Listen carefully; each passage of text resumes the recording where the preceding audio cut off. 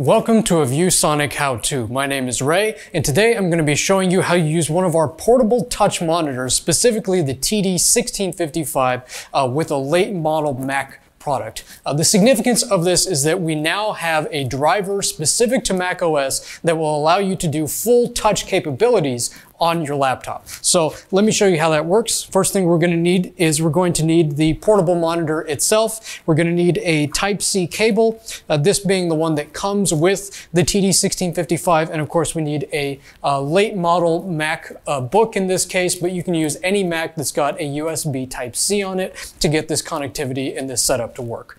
So first thing we're going to do is we're going to connect the laptop and the monitor together, and that's very easy. It is literally one USB-C cable. Plug it into the portable, and then plug the other end into any Type-C port on your Mac laptop. Okay.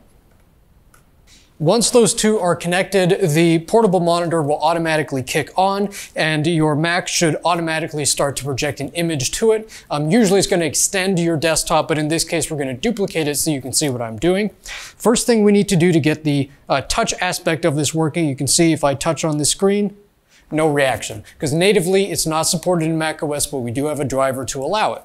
First thing we want to do is we want to go to Safari. We're going to go to the ViewSonic website.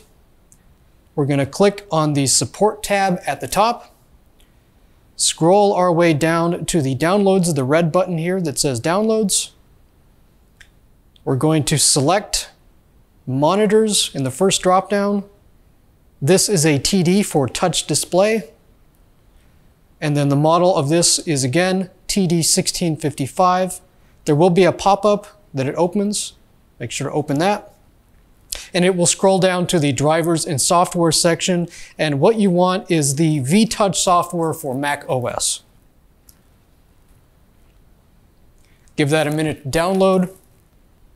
Once downloaded and uncompressed, you want to go ahead and tell it to install the .package file.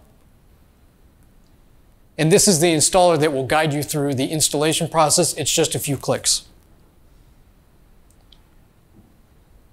Tell it to install.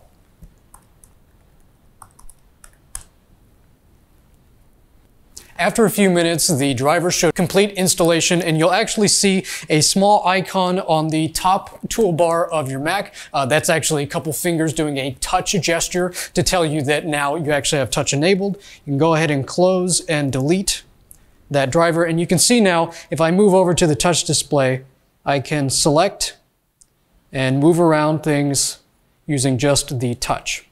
So we've now added full touch support, multi-touch capacitive capability uh, to this Mac laptop using just our portable TD1655 monitor and the new macOS driver that enables our VTouch software. So hopefully this has been a helpful how-to for you. Please watch this space for more how-to and instructional videos.